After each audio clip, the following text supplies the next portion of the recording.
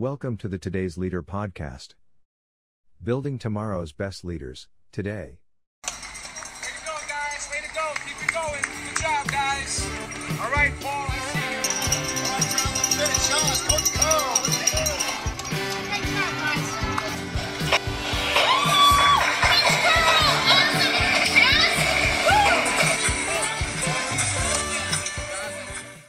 Hey there, it's Coach Curl here, and welcome to episode 446 of the Today's Leader podcast, building tomorrow's best leaders today. Now, let's face it, leaders face many challenges in business, and most notably, this has been evident the last few years. But let's face it, prior to that, many industries always face things like crisis, chaos on a regular basis, whether it's through things like digital transformation or disruption, that word the many leaders hate, disruption. The world continues to change as quickly as we have ever seen it. Now, that business is important. We know that. There's a lot of important things in business, but it's rarely life or death. Now, in some occupations, getting consistency in a crisis can seriously be a life or death moment. Which brings us to our guest today. Marty Strong is a retired Navy SEAL officer and combat veteran. He's a novelist, a practicing CEO and Chief Strategy Officer, and the author of Be Nimble How the Creative Navy SEAL Mindset Wins on the Battlefield and in Business. He's got a second book that's coming Be Visionary Strategic Leadership in the Age of Optimization, and that's set for release at the end of this year. Now, Marty's travelled to over 40 countries. He's been shot in a few, he tells me, survived cancer twice, and experienced the loss of his oldest son. He spent a lifetime meeting challenges head on, succeeding in three professions, anticipating crisis, and leading through chaos and crisis. This is a conversation that you certainly do not want to miss. So, after a word once again from our sponsor, Think and Grow Business, it's my pleasure to welcome Marty Strong to the podcast. The podcast is brought to you by Think and Grow Business, the home of the Think and Grow Business Mastermind. If you're serious about growing your business, get serious and join a mastermind group today. Find out more at thinkandgrowbusiness.com.au. And it's my pleasure to welcome to the Today's Leader podcast, Building Tomorrow's Best Leaders today. Please welcome the author of Be Nimble, Marty Strong. How are you today, Marty? I'm doing great. How are you doing? I am fantastic. Just the start of the day for me. It's the end of the day for you. So um, it's going to be a great Friday. That's all I'm, I'm saying. I've got a very busy, impactful day ahead. So um, share the Marty Strong story with our listeners. Yeah, so if you're familiar with the United States and you just put your finger smack dab in the center of it, that's where I was born, in the state of Nebraska. So on the Great Plains, uh, where all the buffalo used to roam, that, that's where I was born and raised for the most part. I spent Yeah. four years in Japan as a kid uh, when my, my father had a job with the U.S. Army as a civilian. Uh, eventually uh, graduated high school when I was 17 and went into the Navy. And I did the, uh, the Navy thing for 20 years. Half of that I was an enlisted SEAL, uh, you know, special operations uh, guy, and the second half I was an officer in that same SEAL unit. So, did 20 years, got out, uh, managed money for seven years with uh, United Bank of Switzerland as a portfolio manager, and then wanted to start leading companies and and doing more corporate and business development and startup work. Can I just ask, uh, completely off the record, is, is the competition between the Navy SEAL and the Coast Guard uh, what what what we see in the movies? Is it is it that sort of a um, competitive environment between those two Sure. Organizations? I mean, any elite unit is highly competitive by nature. So, you know, SEALs and, and Marines, SEAls and Green Berets, SEAls and, and uh, Metro SWAT guys, Yeah. Coast Guard. Yeah, we, you know, a lot of uh, esprit de corps, a lot of pride, and a lot of effort put into being being the best. So, sure. Yeah. Excellent. Now you've written Be Nimble. What was the premise of behind writing that book? And I know you've got a new one coming out, so we'll talk about that in a sec. So let's talk about Be Nimble from a leadership aspect. What what was it about? Um, what compelled you to write the book? Sure. Well, I mean, the thesis is kind of in the subtitle um, How the Creative Navy SEAL Mindset Wins on the Battlefield and in Business. And it was a way to kind of put a bridge from or between my experience as a leader in an elite unit and the lessons learned there. Not all applicable, you know, outside of uh, military service, but a lot of them were. And then my experience for the last 20 years in business and lots of different kinds of business and leading uh, teams and then eventually leading um, companies. So I thought if uh, someday if I wanted to segue into a, uh, a business doing consulting and, and speaking and, and writing as my sole vocation, that uh, that I should go ahead and put all my thoughts on paper and what is it that Marty really thought about all these topics. So Be Nimble was really it's a it's a it's written in a mentoring style directed at aspiring leaders or existing leaders and it's more about dynamic chaotic kind of crisis environments of leadership where you've got to be really on on the on your game if you're going to be leading. And I guess the last two years uh, we've seen that, haven't we? Uh, the the crisis leadership, uh, um, well, the crisis that enveloped the world it has really allowed some leaders to stand tall, and we've also seen some leaders almost like withdraw into themselves. So, what are some of the the traits that you see in leaders that are possibly negative traits that your book will help them with? So there's a there's a chapter in the book where I talk about the hero complex, and I think it's probably appropriate to your question. A lot of people, you know, obviously regard heroism uh, very highly, but in business, just like in the military, usually if you're a hero, something probably went wrong. And you know, think about it. Anybody in the military that's wearing medals that said I was in a big battle or a big fight and I got shot and my buddies got shot and all that, that wasn't because everything went really well. That's because everything didn't really well, didn't go well, and you stepped up. You did Yeah. something very heroic. In the case of leadership and in business, stepping up in, in a crisis, whether it's an external one like the pandemic or an internal one, say your company's threatened by an outside competitor, or you're, you're trying to change your strategy and everything seems to be unraveling because nobody knows how to align the organization.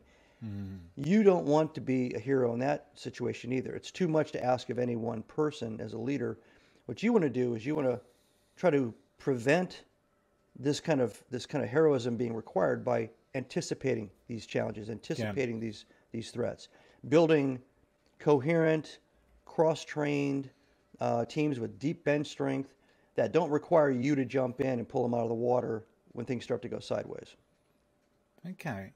So do you in the in so in the business world, do you see people so I I've got a a, a a visual in my head around the concept of being nimble. So we're building great strong teams that are empowered and we're not necessarily the leader that's out there fighting all the fires is which is what we fundamentally see a lot in business. We I, not necessarily at CEO level, but much further down, we seem to have a range of middle managers that, you know, and whether we call them trying to be the hero, they're the ones trying to fix everyone's problems and, and put out fires.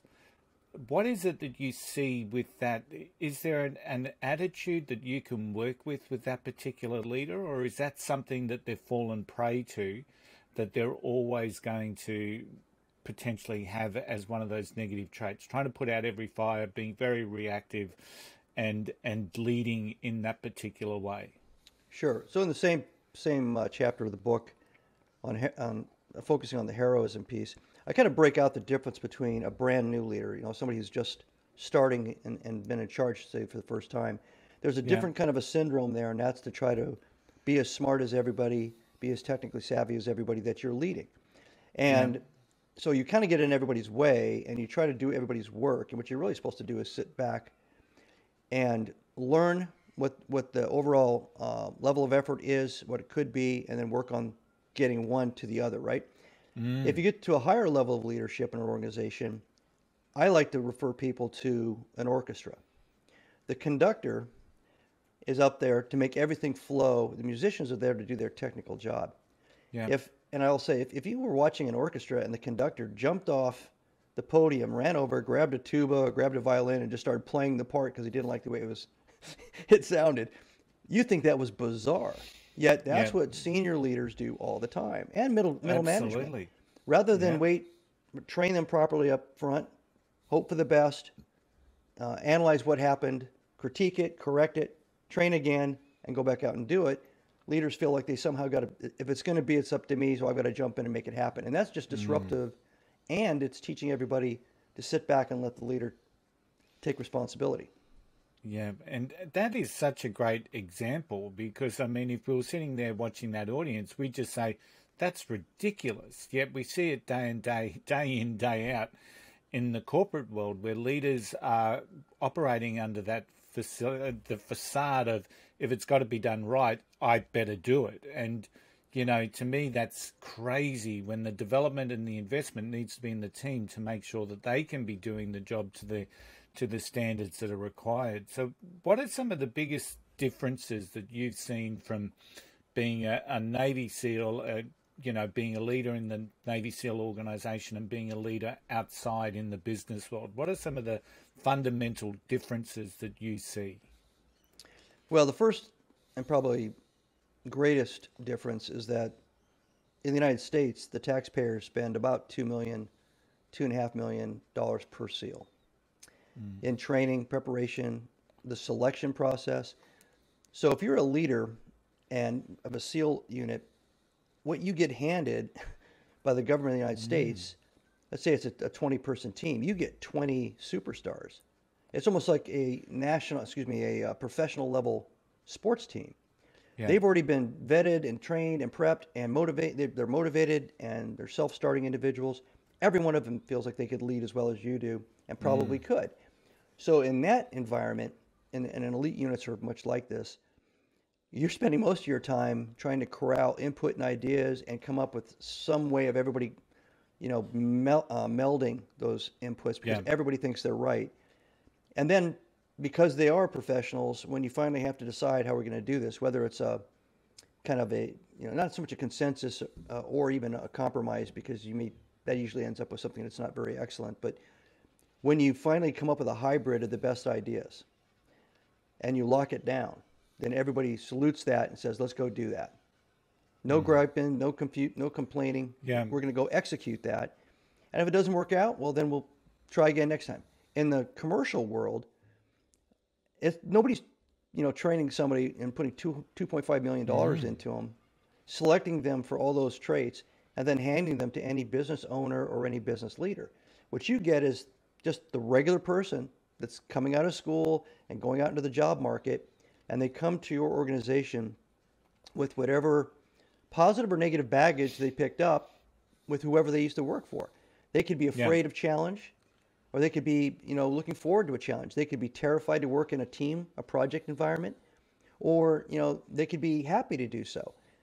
So you get a whole mixed bag of this kind of psychology of the worker mindset based on wherever they came from. There's no, Yeah. there's no common, you know, uh, there's no common profile walking in the door, which makes building cultures for leaders really critical on the commercial side. It, it's Yeah. it's it's absolutely uh, you know critical that they do that. Once again, an interesting uh, thought process to to sort of channel into because one of the um, things that I, you know, that no doubt you see and many leadership development experts see is that there is a fear of almost a fear of developing their team to the extent of you know the training that you described for the for the seals it's it's almost like you're coming on deck you've got a job to do i'm going to provide you you know some organizations the bare minimum some go more and over and above but there's a fear of that I, I guess that investment in the training to make them better people, better team members within organizations, there's the fear that they're not going to see a return on those dollars. Yet, I, I guess when you look at any sort of military or any sort of special unit or even professional sporting teams, the investment that goes into those teams to get the players to the level that they need to be is is quite obvious the, the reason behind the performance that we that we see in the times that we need it. So what's preventing organizations from seeing that? From from seeing that ability to develop their team and to make them better. Yeah, that's that's a very insightful point because it's it's a, it's kind of bifurcated into lower level management and their attitude towards training. It would include supervisors, middle management, and then senior management. You kind of hit on the attitude you hear a lot in senior management, and that is, I'm investing in my competitors, my competitors' employees, mm-hmm. because at some point, if I mm-hmm. don't pay the people I just poured all this money into, or I don't make them happy, they're going to go across the street, and my competitor is going to reap all the rewards. And so they, they tend Yeah. not to feel comfortable pouring a lot of money into the population. And it's kind of a mm. chicken and the egg thing, though. You know, if you if you don't invest in the people, and you don't create a culture where the people believe, the employees believe that they're being nurtured and coached and mentored and improved professionally, and and ob- obviously you want to also have a pathway to greater opportunity within the organization based on that professional growth. Well, you're just you're basically just sealing a deal. They're going to look for some other organization that is doing that. Mm. The lower level, Yeah. middle management and supervisory management level, there's a lot of job security issues. You in Yeah. the military, you always train your replacement because if if you get shot, somebody else steps up and has to be whatever you were. If you're an officer, you're a sergeant, whatever, you're the machine gunner. Uh, somebody else has to be trained and qualified to step up and do what you were supposed to do as a primary function. So there's a frantic effort usually within combat units to make sure everybody can do their level best in almost everything that everybody's supposed to do. There's people assigned and there are people that are a little bit better than others. But that's so you have so much redundancy and so much, you know, depth of experience and capability that in combat, the loss of one or two people doesn't shut the whole unit uh, capability down. But in business, you see people hold, especially the middle and lower management. I don't want to train Susie or Joe because I know they're pretty sharp. And I'm not maybe as sharp all the time. And my boss is going to find out that they're smart about this. And next thing you know, boom. So there's there's a lower kind of lower level tamponing of this from a more job security point of view, Yeah. and an upper level, uh, uh, I guess, neglect and or apprehension about investing, which is based on that. If we train them and we we pour the money in, they're just going to walk out. And you know what? So what? You know, uh, Jack Welch of uh, General Electric once said that when he was first hired, or, or you know, developed into uh, the CEO, he said, "Well, why me?" And they said, "Because you're the only one qualified in all of General Electric." He said, "Oh, okay, so I won by default." He said that he wanted to make sure that didn't happen the day he had to be replaced, and so he created all kinds of hmm. mechanisms, leadership training academies, and things internally. And one of his proudest achievements was when he was going to retire, there was 10 to 12 candidates for his job that, in his opinion, were all equally capable of taking over the helm at GE. Yeah. And within a year or two, six or seven of those, he said, went off to major corporations in the United States and did a fantastic job. It's just you, you mm-hmm. got to decide whether you're going to be optimistic, positive, and be a nurturing kind of a developmental leader, or not. Yeah. Yeah. It's it's in many ways it's about the legacy that we want to leave as a leader as well, you know, that development of people and it, I think to have that choice uh, is is fantastic. And one of the things that I that I see is that if people aren't being valued or invested in, you know, they're more inclined to leave anyway. Um, apart from the fact that those that say, "Well, I'm not going to get a job anywhere else, so I might as well just hang low here," which is, you know, I, I sort of call those people the the working dead, so that they're just in their job, just doing enough to hold on, and and just being paid enough to, not to leave. So, one of the um, the conundrums that we see with leadership development is are leaders made or born? And I guess coming from a military aspect, um, or the Navy SEALs, um, how, I, I'd welcome your view on that because do you see leaders, natural leaders, as advantageous, or is it something that can be developed? And and I guess can anyone be developed as a leader? Yeah. So yeah, I touch on that in Be Nimble also because it comes up all the time, and we had the same the same philosophical debate discussion when I was in the military because Yeah, it's back to, to resources. How much can you pour into somebody to make them a better leader? And what if you can't make them a better leader because you believe in nurture instead of nature, or nature instead of mm-hmm. nurture? So if it's not in their DNA, no matter how much money you spend or time, it's just not going to help. But again, in the military, you don't have a choice. If people are assigned to be leaders, the officers or officers are supposed to lead. You've got to do your level best, roll up your sleeves as either trainers of these officers and leaders or senior officers to Yeah. make sure they're not left behind and everybody gets up to some level. But then the crucible of decision making in a crisis kind of brings out a different thing. And I think that you can lead and be taught to lead. And this, is- I think, I think leadership Yeah. is different than management. I think management's about maintaining and sustaining uh, approved processes and making sure the talent's working to their resumes and and that um, the systems are all operating and all that. I think leadership is what you need when all that stuff starts falling apart for some reason, from either an external threat Yeah. or an internal threat. And but leadership can probably be trained up to a certain level of crisis uh, response, a certain level of ability to cope with a crisis.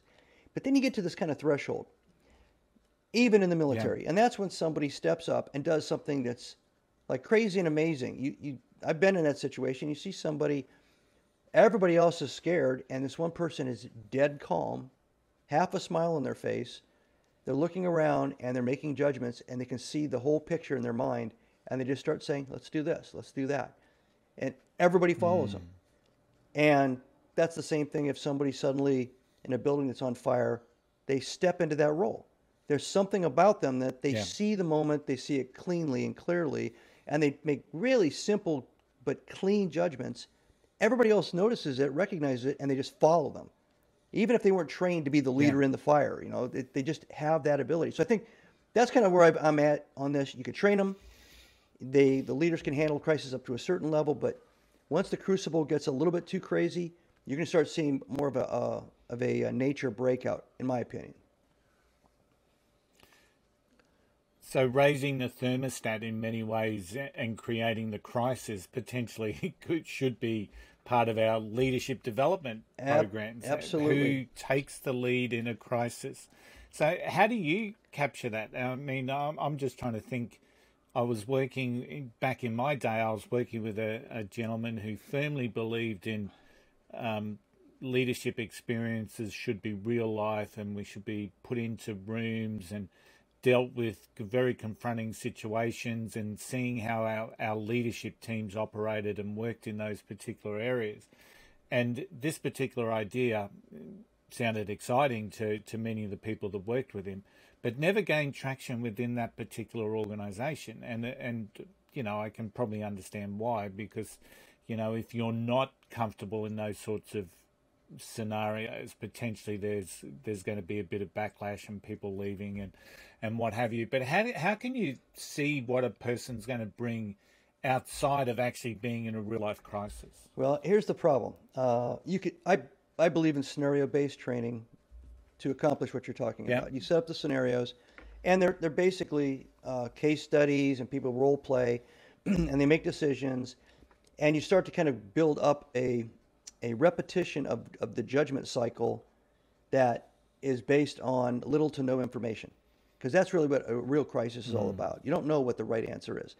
Yeah, So you have to start um, training people for that that weird moment where you're not going to get all your systems and processes and your people feeding you the answer. You're not going to send an email and say how, why, and somebody's going to come back and give you an answer. It's not going to be there. So you can do that. You can do that through scenario Yeah. training, and it doesn't have to be laborious. You can do that in 30 minute time frames. You can base it on real things that mm. have happened in the company in the past. Just change the dates and names, so they're actually. And then afterwards, you say this is something that actually happened to this company, or this is something that happened to one of our competitors, or this is something that happened to somebody in our industry, and and you can learn that way. You can also learn by reading. Almost any good biography Yeah. of any leader, almost any walk of, of, of life, whether it's the military, political, uh, and business, they will lay out usually if they're if it's a good book, they'll lay out all their failures, all their faults, and how they dealt with it, and how they suffered through it, and how they somehow overcame that. You read that, and you're again, it's like scenario prep. You're reading through those judgment those judgment moments. Uh, we had a crisis in the SEAL teams in the uh, mid 1980s. We we were starting to do hostage rescue, and up until that point, we were primarily open field guys doing reconnaissance or doing jungle fighting like Vietnam.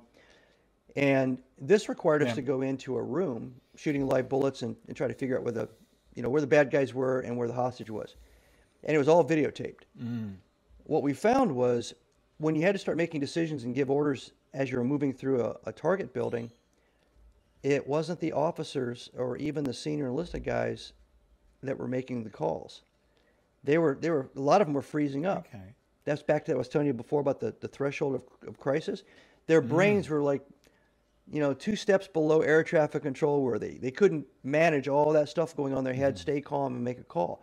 And somebody else would suddenly make a call and it was the right call and you'd go. They'd roll the tape later. They go, some Yeah. junior guy.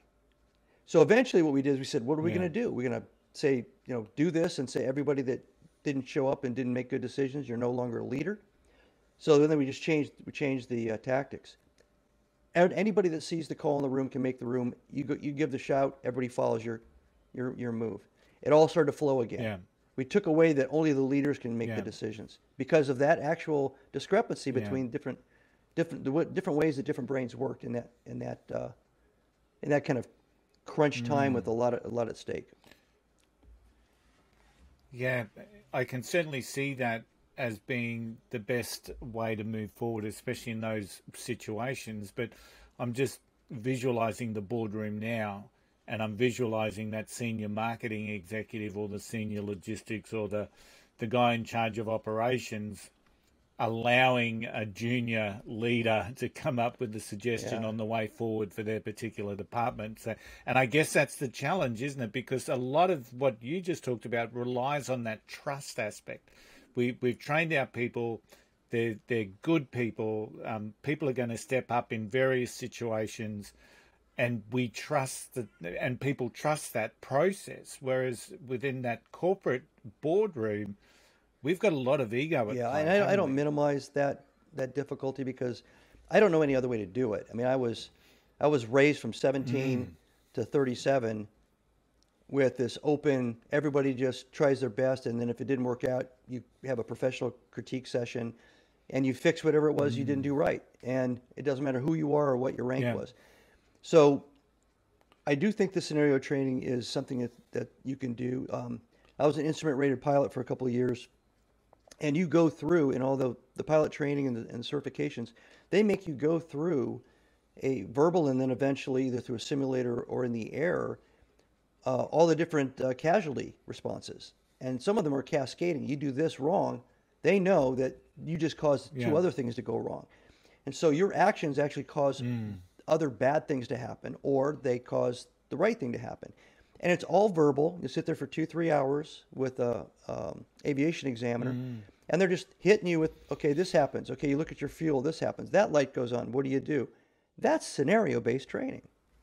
And believe it or not, even though you're not in a cockpit, it can actually get really stressful because your brain's freaking out trying to remember what the heck it is you're supposed to do.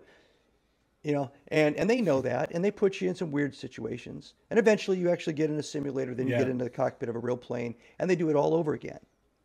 That so you can do that in the in the build in a building Yeah, with with with people working in an organization. There's nothing keeping you from doing that.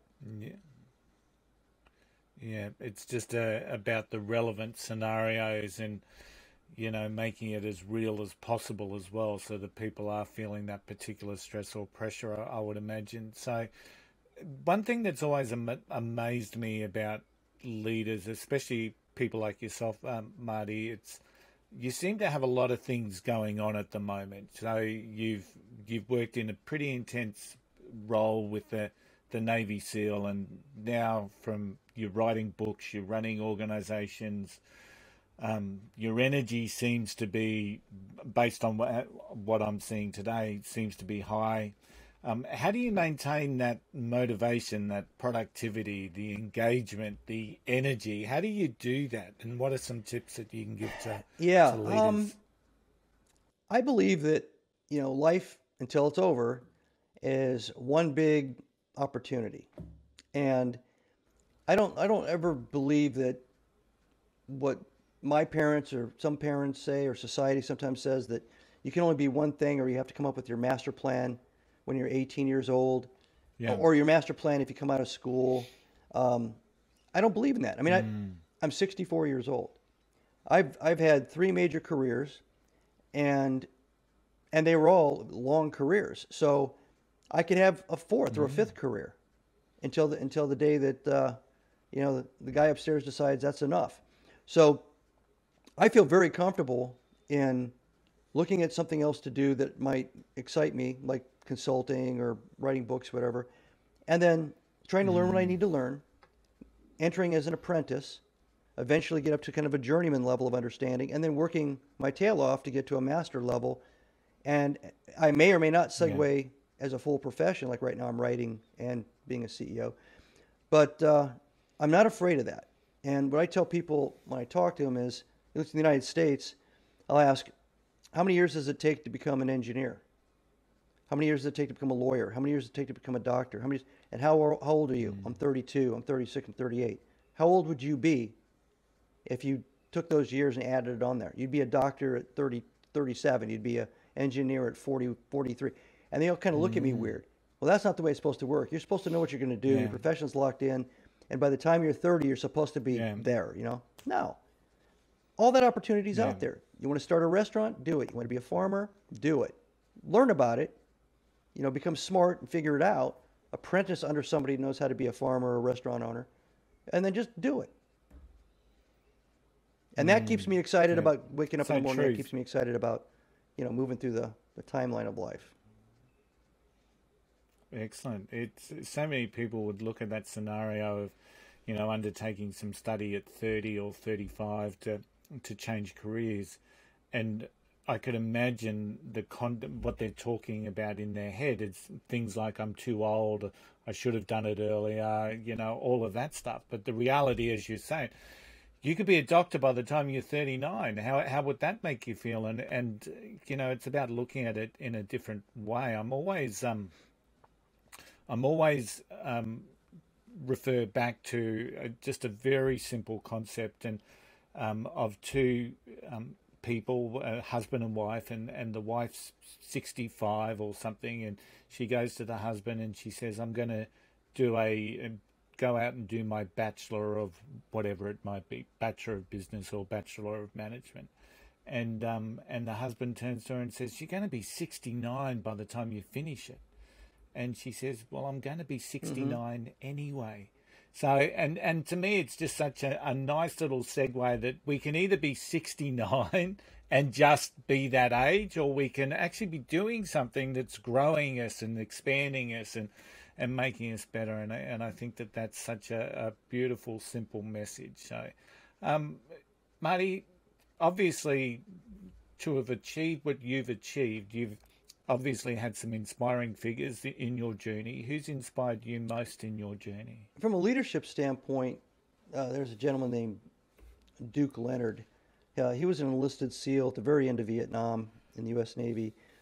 He became an officer, and when I was a when I became an officer after 10 years of being an enlisted SEAL, I looked around to you know to, to find somebody to emulate, and and I'd seen a lot of officers from the standpoint of being an enlisted guy, and mm-hmm. and he was calm, he was almost serene. He was so calm, and I watched him in stressful situations, and I watched how he interacted with people. He was okay with people failing. He was okay with people falling a little short, and then he would he would usually come up and just say one or two words, part encouragement, and part a pat on the back for getting as far as they did. And so when he walked away, he felt like you'd kind of been admonished, but you'd also kind of been told you did a pretty good job, you know. And I thought I, I want to be that guy. I, I want to be I want to be like Yeah. Duke. and so I tried to, to pattern my leadership Yeah. style after him. And I wasn't the only person that felt that way about his, his approach to leadership. And I actually carry that that same approach. I still emulate him to this day. Um, I, I saw him about five, six years ago, and uh, I told him that. Uh, that's probably the, the person that's had the greatest impact on me as a leader. Um, I mean, other than that, I mean, I have five kids. You know, I have a daughter, Tara, who's living there in Sydney right now. Um, they influence me. I think about them all the time, and they, when I think about them and my five grandkids, I, I think about what we just talked about. I think I I need to show them that it's okay. It's okay at 64, 74, 84. Go for it. Do what you want to do. Uh, take a deep breath.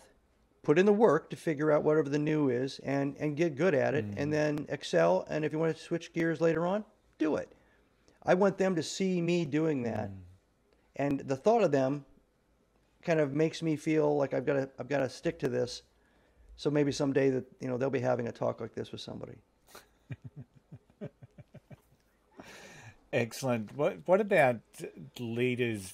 We spoke a little bit about emerging leaders. What are some of the traits that you believe leaders need to have today to be successful I think tomorrow? the very first thing is intellectual humility.